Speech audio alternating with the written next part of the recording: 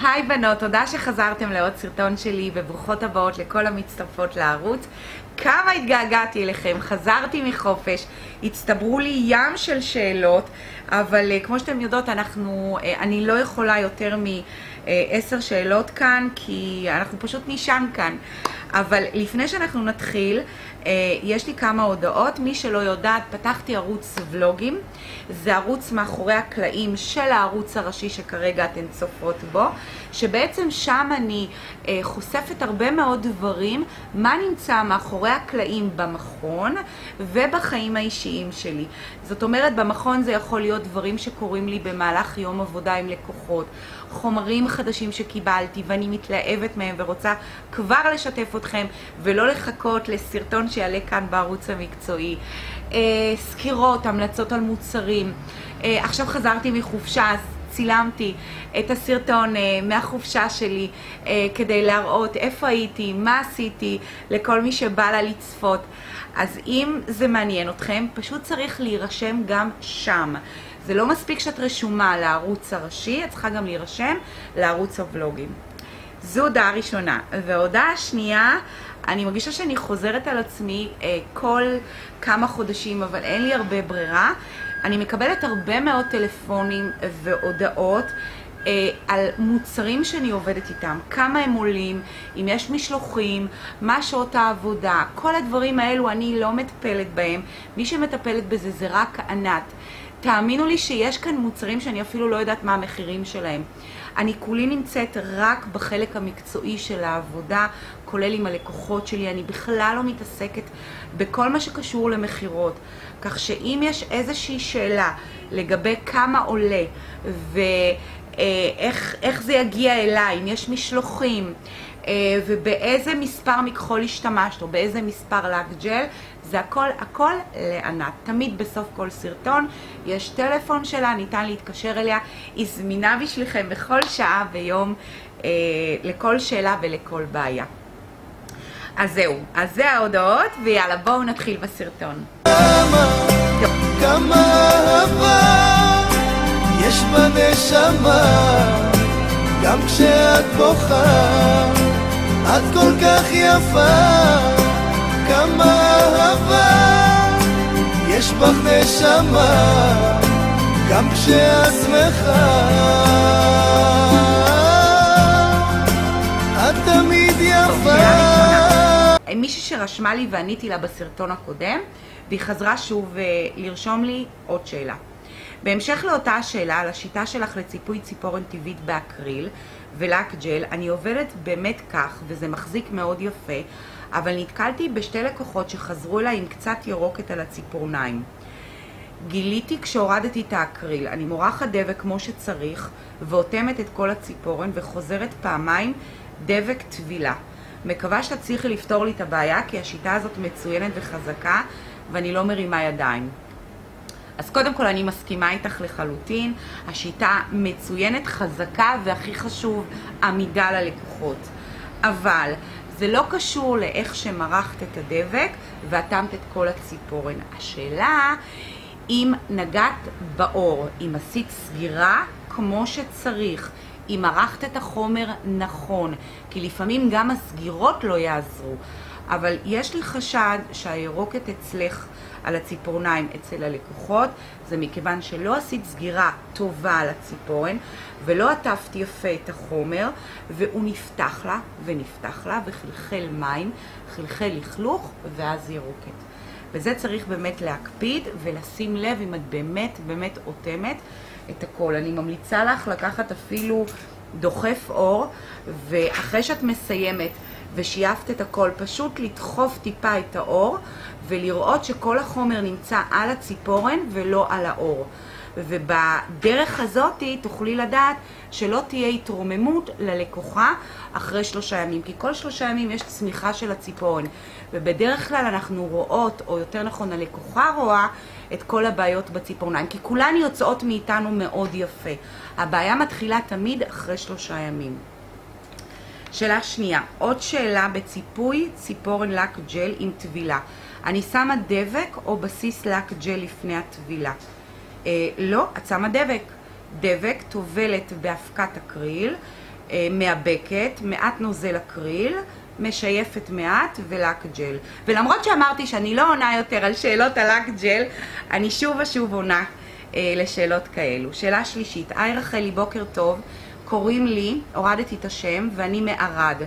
קודם כל אני חייבת להגיד לך שאני רואה את הסרטונים שלך, אני מרגישה כאילו שאת המורה שלי, כל בעיה שיש לי אני נכנסת ליוטיוב ורושמת, ותמיד יש סרטון על הבעיה שאני נתקלת. כמו שאמרת, זה לא קל להתחיל, והרבה פעמים אני מרימה ידיים. אני בתחום ארבעה חודשים. איך שסיימתי ללמוד, פתחתי את העסק, לא ויתרתי. הבעיה האחרונה שנתקלתי בה היום, שהלכתי לסופר, פגשתי לקוחה שעשיתי לה מילוי לפני שבוע וחצי, ופשוט היא הראתה לי התנתקות מהציפורן, כאילו זאת ציפורן מודבקת. וזה בדיוק התשובה שעניתי עכשיו לשאלה הקודמת. היא באה אליי לפני שבוע וחצי פעם ראשונה. עכשיו לא הבנתי למה התנתק לה, ואחרי הסרטון הבנתי שאולי באזור של יד הקטיקולה, אזור ה-C, אני שמה הרבה חומר, גם וגם לא משייפת. מצד שני אני מפחדת שאם אני לא אשים מספיק חומר הם יעופו. ממש לא, החומר באזור ה-C לא קשור לזה שהציפורן תעוף. אני באמת לא רוצה להתייאש, לא מאמי, לא להתייאש, ולפעמים אני מוצאת את עצמי בוכה ורוצה לוותר על המקצוע, אבל מצד שני כמעט כל הלקוחות הקבועות שלי הכל בסדר. כמעט כל הלקוחות הקבועות הכל בסדר, והן חוזרות מעולה. יש לך עוד טיפים לתת לי? סליחה שחפרתי לך, אבל זקוקה לעזרתך, יום טוב. את לא חופרת לי, ממי.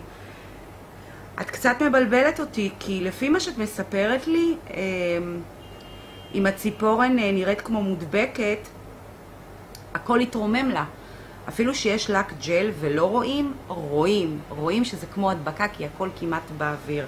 אבל מצד, מצד שני את אומרת שכל הלקוחות הקבועות שלך חוזרות מעולה, אז זה מאוד מבלבל אותי.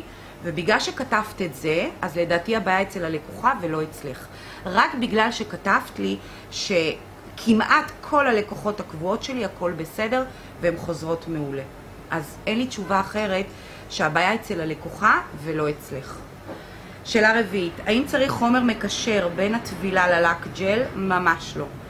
אה, חמש, היי רחלי, למה אני לא מקבלת הודעה מערוץ הוולוגים שלך שעלה הסרטון? כי מהערוץ השני של הציפורניים אני כן מקבלת מייל.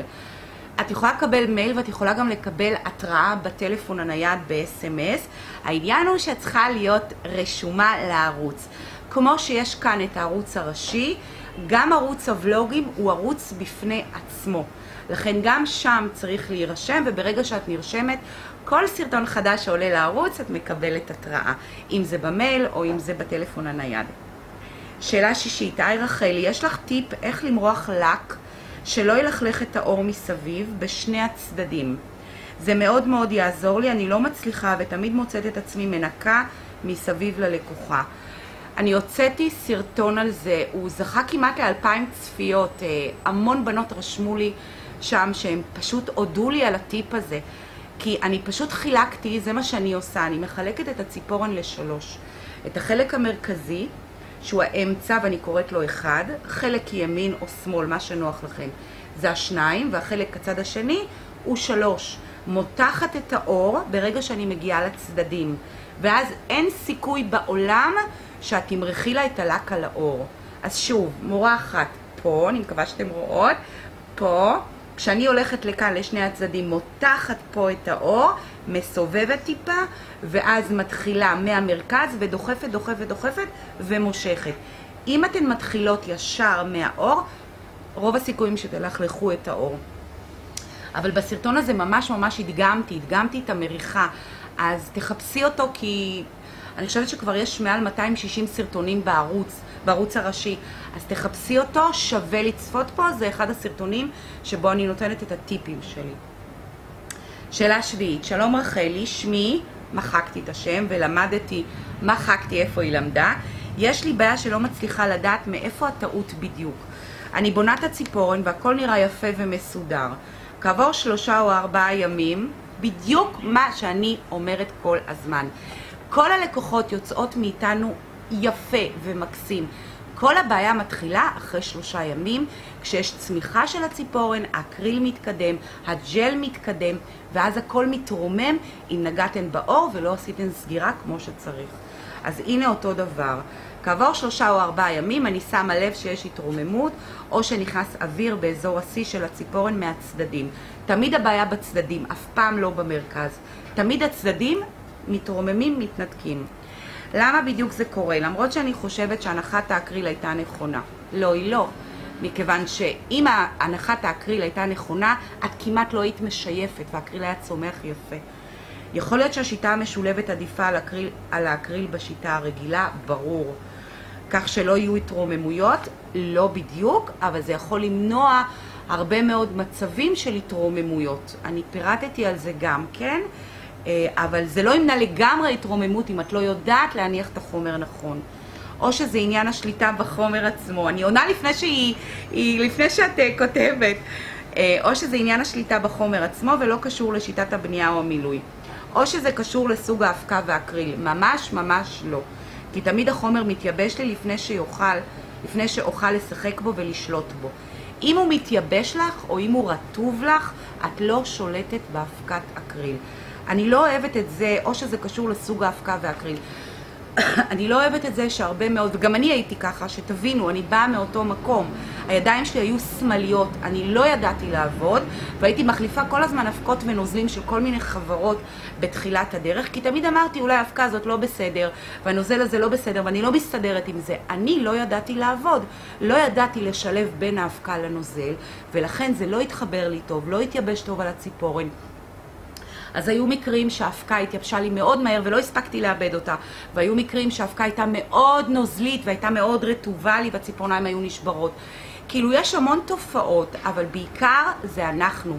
בעיקר אנחנו צריכות לדעת איך לשלוט עם החומר על הציפורן. קודם כל אני ממליצה לך, מכיוון שאני מבינה שיש לך התנסות לא קלה אה, וניסיון לא פשוט עם האקריל, קודם כל לעבוד בשיטה משולבת. כי הדבק ישמור עלייך. הדבק, קשה מאוד שהוא יתרומם. שימי לב רק לא לגעת במסגרת של האור, מילימטר להתקדם קדימה, כאילו לא להתקרב עד הסוף. זה ישמור עלייך מהכדורים שתניחי על, על הדבק. אמ, ואת צריכה להבין, את צריכה להבין למה זה קורה. אוויר לא נכנס סתם, האקריל לא מתרומם סתם. את צריכה פשוט לדעת להניח את החומר נכון על הציפורן. שאלה שמינית, היי רחלי, ראיתי בסרטונים שלך שאת לא משתמשת בסילר. למה? כי אין לי, אין לי צורך בו, היום אני משתמשת בטופקוט ואני גם לא משתמשת בלק רגיל. הרוב העבודה אצלי זה אה, לק ג'ל, ואם אני נגיד עושה ציור כמו פה, זה לא לק ג'ל ולא לקים, אז אני כבר שמה טופקוט וזה מחזיק לי מצוין. ושאלה תשיעית, היי רחלי, כשאני עושה טבילה הרבה פעמים אני רואה על הציפורן שהאבקה לא נדבקה לדבק. למה זה קורה? אני אפילו טובלת עוד פעם ועדיין זה לא מלא על הכל אבקה. אני אשמח אם תעני לי תודה. ממי, את ראית את הסרטון, אני לא זוכרת אם הוא האחרון או לפני האחרון, כאילו בשבועיים האחרונים שהעליתי לערוץ, אני לקחתי דבק, לקחתי דבק, ועם המכחול, עם המכחול שלו, מרחתי על כל הציפורניים ביד אחת. ואני הראיתי גם כן את הציפורן שהיא כולה הייתה מכוסה באבקה. לא היה חלקים שלא, אה, שהדבק לא ספח אליו את האבקה. למה? הסיבה היא כי יש דבק. הדבק שלך או שהוא הגיע לאמצע או שהוא כבר גמור ואת חושבת שאת מורחת ויש דבק, אבל כשאת טובלת ומוציאה את היד, את רואה שיש שטחים שהם ריקים, אין אבקה שם. זאת אומרת, לא היה מספיק דבק שהוא יספח אליו את האבקה. לכן חשוב מאוד לשים לב, לפני שאת טובלת, לראות שיש דבק. אה, זאת הסיבה היחידה בעיניי.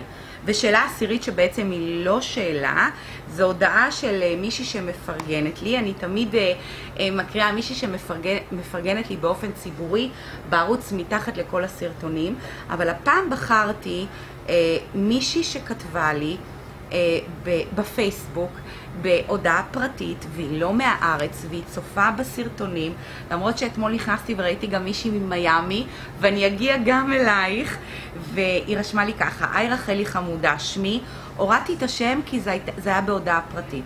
ולפני ארבע שנים עברתי מבאר שבע לפולין, תקשיבו. ציפורניים זה בעצם התחביב שלי, אך בשנה האחרונה יותר נכנסתי לעניין.